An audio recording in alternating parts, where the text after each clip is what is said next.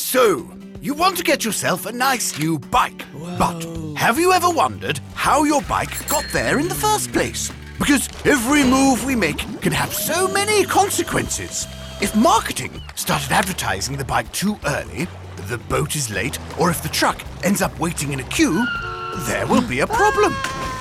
So, to prevent total catastrophe every day, we need to use mathematics to predict what is the best way to keep the economy running smoothly.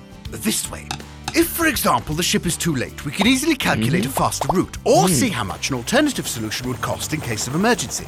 Or by combining the weather forecast and the demand for bikes, we can get a pretty good idea of when it will be best to start advertising.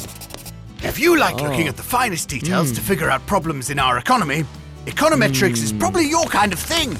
And we Dutch people, I must say, are quite good at this. Because, not to brag or anything, but in Rotterdam, we have one of the biggest ports in the world. Also, we love to plan, so we're always on time to catch a beer with friends. So, where should you get started? Well, Rotterdam, of course! Holland's no nonsense city. And check out econometrics and operations research at the Erasmus School of Economics. The place to learn econometrics, the Dutch way.